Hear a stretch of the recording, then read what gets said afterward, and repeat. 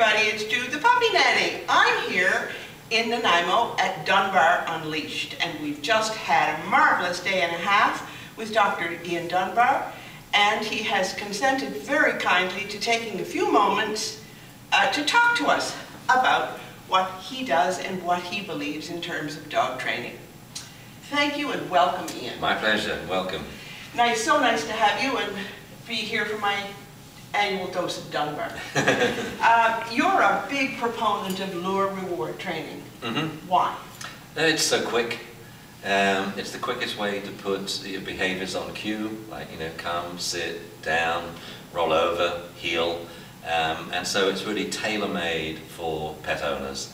That I, I think one of the things that a lot of trainers forget is that pet owners don't necessarily have the same skills uh, expertise or experience that the trainer has.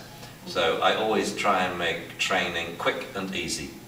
And you can't come up with a quicker method than lure reward training. And it's pretty easy. It's not the easiest, but it's pretty easy. Now, how do those of us who believe exactly what you say and, to, and, and train that way, how do we continue to spread that word? Oh, by doing it, I think. I mean, there's, there's nothing like um, a good job done well. And not just you know holding puppy classes where we're lure reward training but doing it properly. And I think the most important thing you know maybe where it's gone off track a little in the last 10 15 years is we're not phasing out the food. You know we use food as a lure to teach the dog what we want them to do. And we use food as a reward because it's very convenient for pet owners who may not have the affect that we have. I mean, you're great on camera, you say, hello, there's a good puppy, good dog. There's a lot of people can't do this, whereas you can say, good dog, and give them three treats, and the dog gets it. Oh, that's cool. Well, if I get free treats for peeing outside, then I'll pee outside. You know, I don't want to pee it indoor, indoors, there's no fringe benefit. Right. So it, it's very convenient for owners, but ultimately then we want to phase out the food reward too and replace it with things which work much better with the puppy. Things the puppy wants to do, like play with other dogs, to walk and sniff, to jump up, to run away, to pull on leash, and all the things we'd normally call problems. To me, I call them rewards. Once you put them on cue, this is what the dog wants to do. Wonderful. That, that's, and it's a fun way to train too. Oh, I, I mean, yeah, of course training has to be fun. It's yes. like when I do my lectures, I mean, I could make it really boring, but then you're not going to, you know, transfer so much information. But if you get people laughing and giggling, when not like this morning, we didn't have a break. I don't know whether you noticed. I certainly did. I, just kept going and um, monitoring the people. They were all awake and they didn't really need it. And um, because the delivery is fun. And, and, and I think the other sides of fun, like I was saying in the seminar, when you play games with a dog, not only is it motivating and you'll get the best performances from the dog and the owner, but you also get compliance from the owner. They mm-hmm. want to practice to play a game.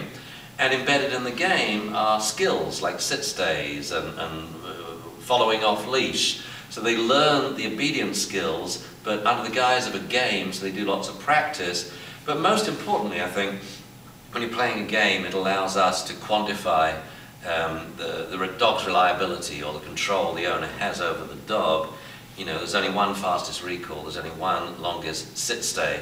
And so we can show owners what exactly is their level of control and how quickly are they improving as they train the dog. And that's really important that the owner is motivated on, -hmm. on a mm-hmm. regular basis. And that's where numbers talk. Numbers talk. Yeah, yeah numbers is the yeah. proof.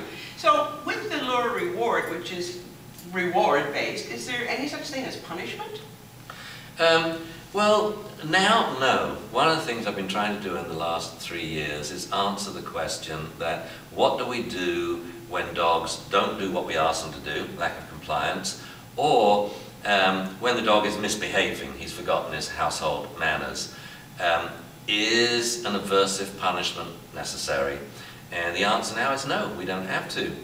That, but why people punish dogs, why they jerk them and shout at them and shock them, is we've actually removed words eh, which have instructions and meaning from training of dogs and horses. When we bring in words, we don't need to be aversive and cause pain or fear because we can simply instruct and insist And that's what the dog learns. And it's the difference between, say, um, parents raising their children and grandparents raising the grandkids with the knowledge they've learned from screwing up their own kids.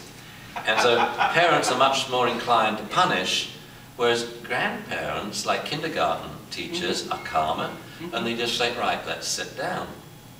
And we're going to sit down. And then the teacher or the grandparent will say, well, I'm waiting.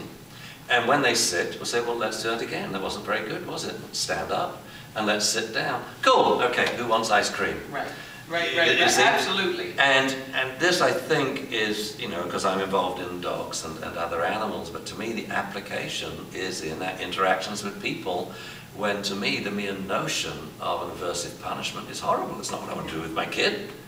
You're my wife. I don't want to do it. It's an anathema to me. But there are times when you, you have to fight for what you believe in, and, and I want my son to do this, or I'd like my wife to do this.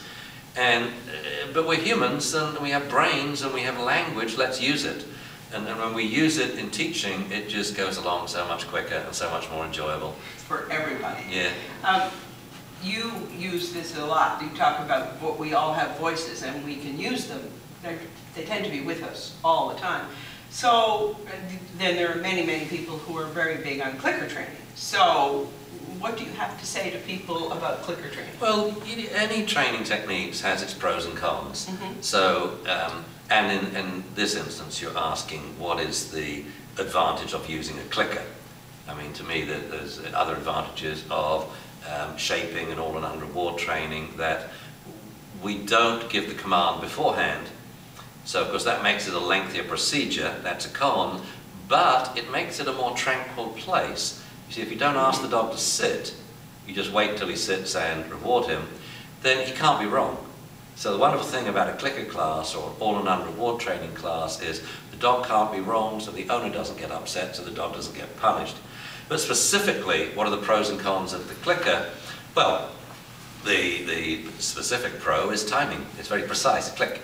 You're marking that little behavior then that you want to reinforce. And the, the clicker, because it's click and treat, click and treat, so the clicker represents a treat and becomes a secondary reinforcer. Instantly you reinforce that dog in that little moment of time. I personally am quicker with my voice than I am with my fingers, and so I just say, good boy, good boy, like that. What are the cons of it? For me, a massive one. It's removed the voice from training, and along with the voice, I think, the spirit and soul of training. I like to talk to my dogs. Mm-hmm. Now, I'm very precise and clear when I give instructions. I'll say, Hugo Louis, sit. But in terms of consequential feedback, I like to chatter on and say, hot damn, Hugo, man, that's one of the best sits I've ever seen you do since, I don't know, for the last three weeks. Woohoo! Russian judge says 11, you know? And it's sad that that joy, as expressed through a voice and, and praise, has been replaced by technical clicking. Mm-hmm, it's mm-hmm. not how I want to communicate with my dog or my child. So it has significant advantages, but it ain't what I want. I want to talk to my dog. And if you click, you just let the dog know this is right. Well, to me, there's more to training than that. I want to grade the dog. Mm-hmm. I want to grade my child. I want to let the dog know not only you got it right, but how well you did. Like, thank you, good dog, good dog, good dog, and a treat. Woo-hoo-hoo, hot damn, three treats. And so verbal feedback is instructive, Mm-hmm. descriptive, and analog, whereas the clicker is quantum. Right. It's the same click, Yeah. it's the same treat. Yes, the, the dog never gets any feedback as to whether he's improving. Yes, like- and, well, it, it depends entirely on setting your criteria for little incremental steps in improvement. And does the dog meet this criterion at each step? Right. Then he gets clicked. But this, of course, is a very complicated technical process. And quite frankly, I, I don't think many pet dog owners are up to it, and I don't think many pet dog owners want it. Mm-hmm. I think what they want to do is to train their dog really quickly Yeah. and to have fun doing Yeah. it with lots of laughter. Yep, I, I agree. I don't use clicker training because I say that I'm not coordinated enough to manage all this. So we don't, you, Yeah. it's fine, you go ahead and use it, but not with me. Yeah. My, unlike you, my voice is quicker. Um, slightly different subject, because I work with puppies, um, I, I'm curious, is there such a thing, and I mean, I don't have a gazillion years' experience, but is there such a thing as an aggressive puppy? Um, yes, 12, I mean, 14 I, weeks, we're talking. Yeah, I, I would probably not use those terms because they're very woolly terms. Mhm. But do we get young puppies that bite? Yeah, they should all bite. If Mhm. a puppy isn't biting, it's a danger because the puppy biting is what teaches the puppies to be gentle with your jaws at a time when his uh, his jaws are weak, but his teeth are sharp. Mhm. So the dog learns to have soft jaws, dependable jaws, before he develops strong jaws of an adult dog.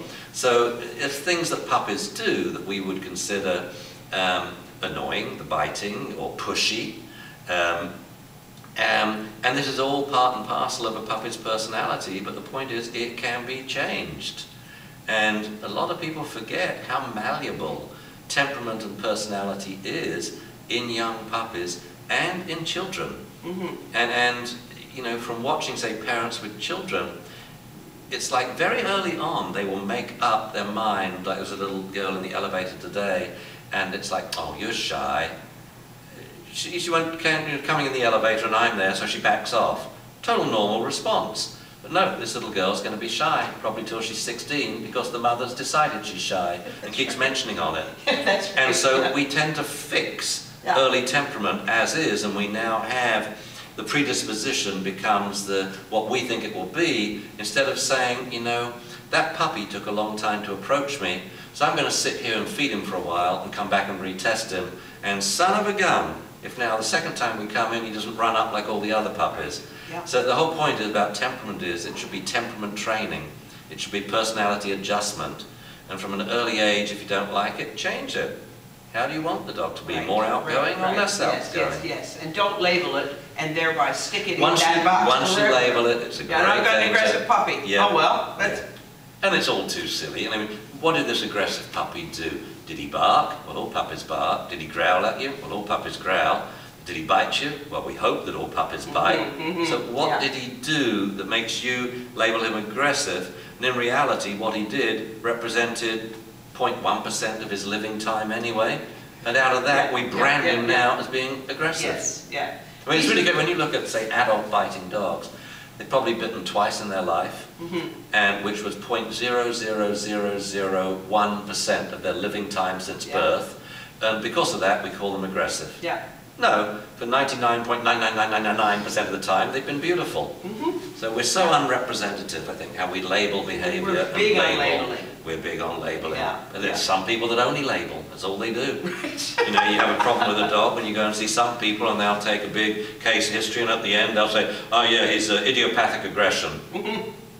Well, number one, that's a really dumb term. You know, I don't know what's causing it aggression. I get loads of I don't know what's causing it. But the point is, you've done nothing to resolve it.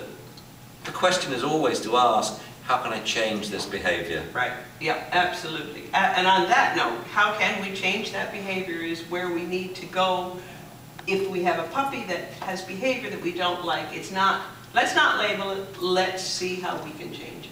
Yeah, and the most important thing there is I have a little maxim, if this is wrong, what is right? So if your dog does anything that bugs you, he's hyperactive, he barks a lot, or he's biting at your hands, then what does he do that you like? Not biting your hands, not being, so praise him at those times, but we don't. You see, we take the good behavior for granted, and we only pay attention to puppies and children Yeah. when they misbehave. So if we reverse that and say, right, every five minutes, I'm going to look at my child or my puppy and ask, are they being good or bad? And if they're good, I'm going to say, you're doing a good job, I like this homework. Or, whoa, you're chewing on that Kong, eh? You're making a pretty good boy. You're being quiet and lying down and chewing on the Kong. Meaning, you're not chewing on the furniture, you're not barking, you're not running around like an idiot. Yeah. And that's how we change behavior. Yeah. That's how we change behavior, by representatively observing, classifying it as good or bad, and saying thank you to the dog when he's being good, which is 99.9% of the time anyway. Excellent.